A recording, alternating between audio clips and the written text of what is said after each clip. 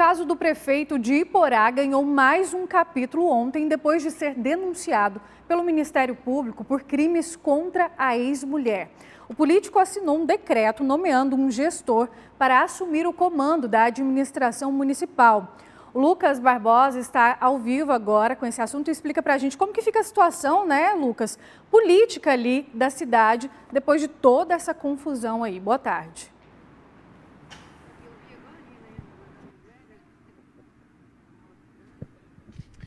Oi, Stephanie, muito boa tarde. Excelente começo de tarde também a você que acompanha a gente do outro lado da tela. Pois é, isso tudo acontece num momento muito complicado, onde a Câmara Municipal de Iporá tem aí a decisão de colocar ou não a vice-prefeita Maísa Cunha, do PP, como prefeita de fato. Isso ainda não aconteceu. Há de fato uma incerteza, até porque o prefeito tem a maioria na Câmara Municipal de Iporá, onde 13 vereadores são aliados a ele. Mas é importante a gente ressaltar que o decreto foi publicado ontem, onde o prefeito então nomeou o atual secretário da Agricultura e ex-prefeito, o Danilo Gleick Alves dos Santos. Ele então vai responder pelo cargo de gestor da administração pública municipal. Mas o que significa esse cargo? Isso pode de fato acontecer? Por isso, nós convidamos o advogado especialista em direito eleitoral e público também, Bruno Pena, para dar essa resposta para a gente, porque de fato tentando entender, mesmo o prefeito pode e o que, que representa esse cargo? Boa tarde.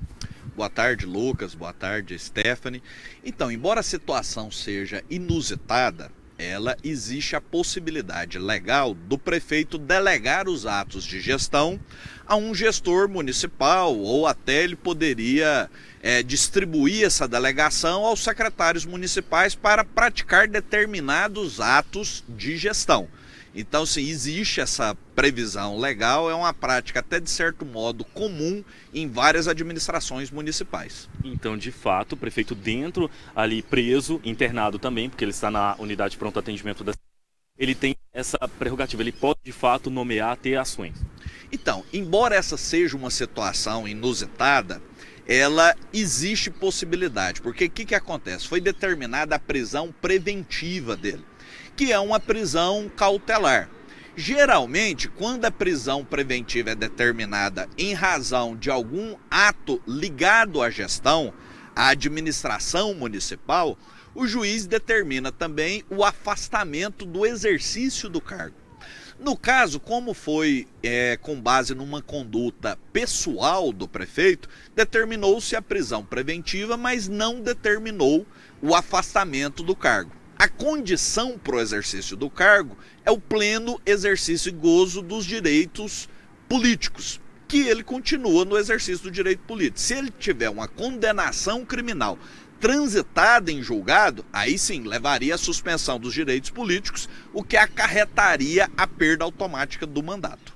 Então, para você que está em casa, até a gente relembrar esse caso que aconteceu, que aconteceu né, lá no dia 18, madrugada do dia 18, quando o prefeito teve aí a iniciativa que usou a caminhonete para invadir a casa da ex-companheira, acabou então tentando matá-la assim como o companheiro atual dela.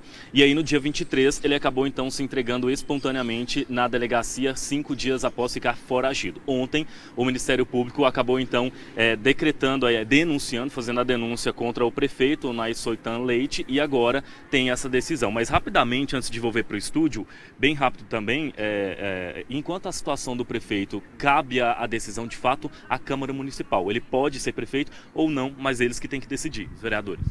Exatamente, porque a vice-prefeita só assume no caso de vacância do cargo. Quem pode determinar essa vacância é a Câmara Municipal caçando o mandato do prefeito. Cabe à Câmara Municipal, dentro de um processo administrativo da Câmara Municipal, caçar o prefeito e empossar a vice-prefeita, aí sim resolveria a situação, que já houveram casos. Teve o caso do Bruno Covas, enquanto prefeito de São Paulo, que continuava despachando mesmo internado no hospital. Já teve o caso do Donadon, de um deputado federal de Rondônia, que continuou exercendo o mandato, mesmo estando preso. Então é uma situação inusitada que cabe agora à Câmara Municipal solucioná-la. Bruno Pena, advogado especialista em direito eleitoral e público, muito obrigado pela participação, pelos esclarecimentos também.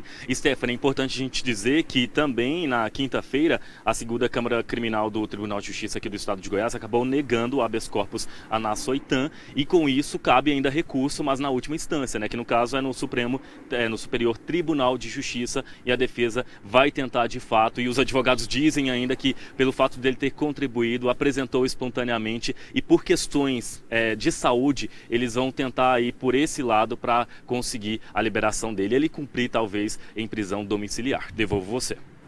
Obrigada, Lucas, pelas informações. Realmente uma situação muito inusitada, né? A gente, a gente espera o melhor para a população ali da cidade de Iporá.